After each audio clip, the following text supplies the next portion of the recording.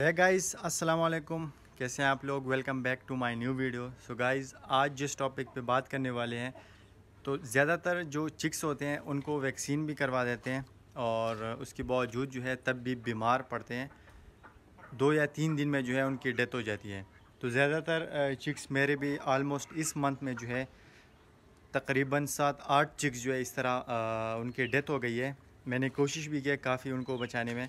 लेकिन उससे पहले जो है दो तीन चीज़ें मैं आप लोग को बताऊँगा आज के वीडियो में कि आप लोग जो है आ, सर्दियों में स्पेशली सर्दियों में जो है क्योंकि अभी सर्दी का महीना जो है शुरू हो गया है और ये है कि रात के टाइम इनको अक्सर ठंड लग जाती है जिसकी वजह से आगे लीड करके इन ये इनकी डेथ हो जाती है।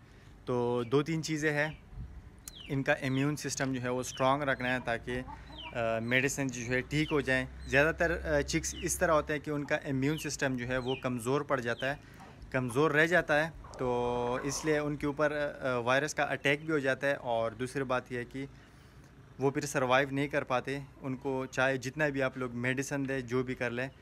तो आज की वीडियो में थोड़ा सा मैं आप लोग के साथ शेयर करूँगा। फ़िलहाल वीडियो को स्टार्ट करते हैं और जो लोग चैनल पर न्यू है चैनल को सब्सक्राइब कर दें, वीडियो को लाइक कर देना।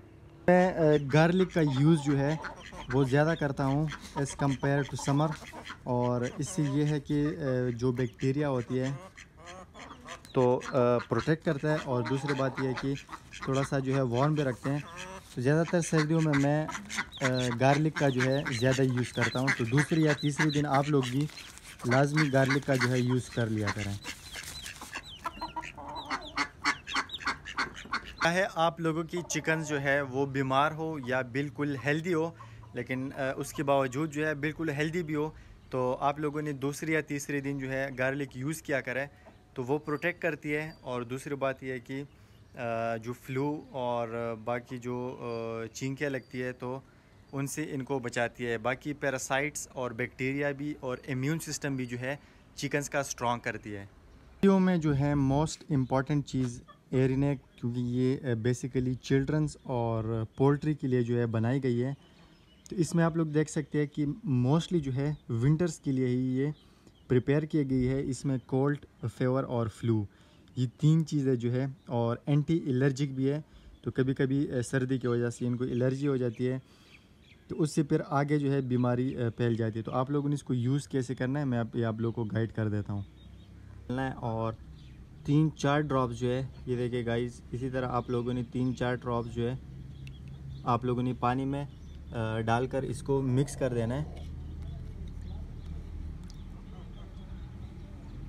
जैसे आप लोगों को लगे कि थोड़ा सा आपका जो चिक है, या चिकन है, थोड़ा सा आप लोगों को ढीला नज़र आए और, या आप लोगों को ऐसा नज़र आए कि ये बीमार है तो एकदम आप लोगों ने क्या करना है कि एरिनेक सिरप जो है आप लोगों ने खिलाना है, क्योंकि इसमें जो है टेम्परेचर भी इसका डाउन हो जाता है और उसके अलावा फ्लू या सर्दी की वजह से अगर इनको कोई बीमारी लग गई हो तो एरिनेक जो है मोस्ट इंपॉर्टेंट है और एरिनेक से जो है आप लोगों का चिकन जो है एंटी एलर्जिक भी है।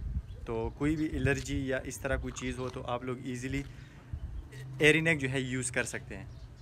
रोटी का इस्तेमाल जो है सर्दियों में ज़्यादा किया करें, क्योंकि गर्मियों में कभी कभी रोटी की वजह से इनका पेट ख़राब हो जाता है और सर्दियों में जो है नहीं होती तो इनको एनर्जेटिक रखने के लिए और प्रोटीन मल्टी वाइटामिन क्योंकि वीट का आप लोगों को पता ही है, और ये आती भी शौक से हैं तो लाजमी जो है पानी में इनको रोटी जो है नरम करके डाला करें।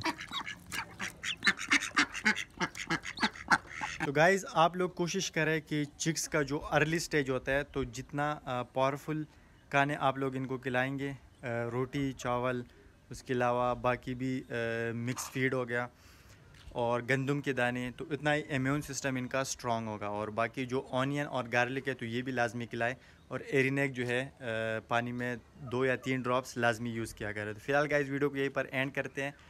वीडियो अच्छी लगी हो तो लाइक कर देना और जो लोग चैनल पर न्यू है, चैनल को सब्सक्राइब कर देना। आज के लिए इतना ही। अल्लाह हाफिज़।